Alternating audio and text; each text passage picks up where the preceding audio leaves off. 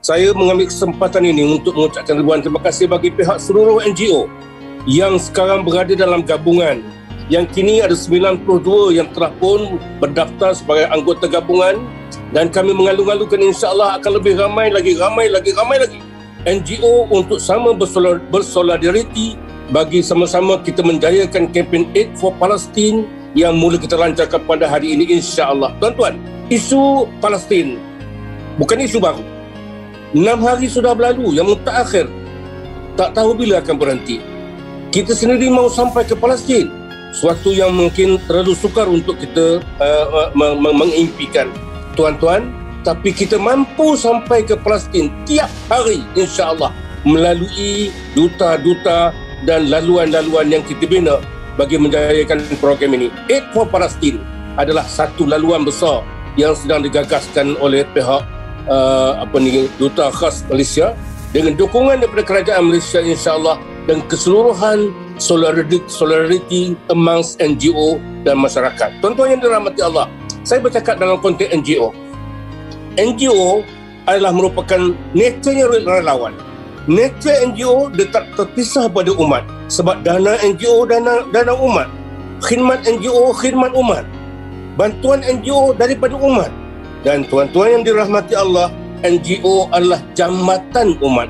NGO Malaysia adalah jambatan kepada masyarakat dan umat Islam di Malaysia maupun umat yang tidak Islam di Malaysia kita satu-satunya adalah antara antara organisasi yang kita bangun di atas nama dan kesediaan kesukarelawan kerja demi menggerakkan kerja-kerja keamanan, kemanusiaan dan juga kerja-kerja khidmat kebajikan sekarang ini kita fokus pada isu Gaza.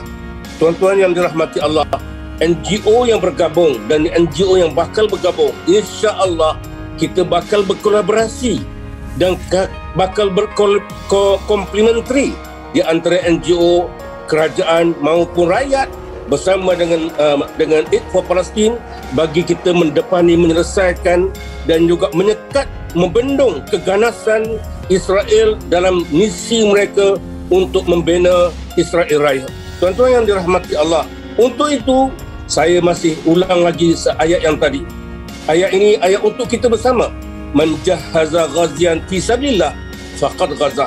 Siapa yang yang yang menyumbang kepada pada mujahidin, kelompok yang sedang berjuang untuk berjuang di jalan Allah Subhanahu Wa Taala sesungguhnya mereka adalah berjuang dan dan pahala mereka tidak dikurangkan Allah walaupun sedikit tuan-tuan yang, yang dirahmati Allah ambil ruang ini kami NGO di Malaysia gabungan semua ini Yayasan Amal Muslim Care dan semuanya kami bersepadu untuk meletakkan hasrat bagi membawa misi hasrat dan sumbangan tuan-tuan untuk sampai ke bumi Gaza sampai ke bumi Palestin menyelamatkan Baitul Maqdis. Ada tiga perkara sebelum saya akhiri. Tiga perkara yang besar. Tiga R. Relief, rescue, relief, rehab. Rescue sedang berlaku sekarang.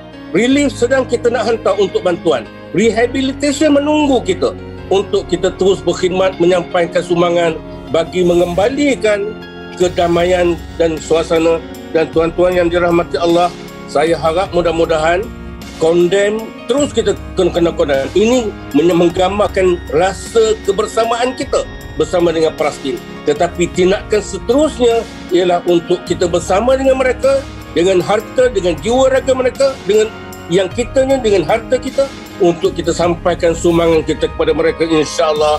Tuan-tuan, jom bersolidariti, bersolidariti dengan bersama seluruh NGO dan kerajaan yang yang mendukung bersama dan rakyat bersama untuk sama-sama kita jayakan program kempen Aid for Palestine ini demi mengembalikan keamanan dan pembebasan Baitul Maqdis, Masjidil Aqsa, Gaza dan Palestin keseluruhannya insya-Allah. Akhir saya juga nak sebutkan bahawa NGO tuan-tuan, NGO ni duta umat. Duta tuan-tuan, yakinlah dengan dengan transparansi, dengan accountability yang dipantau oleh organisasi dalam kerajaan, mudah-mudahan insya-Allah apa yang tuan sampaikan satu sen sampai kepada orang yang berhak menerimanya. Wallahu alam wabillahi taufiq wal hidayah. Assalamualaikum warahmatullahi wabarakatuh.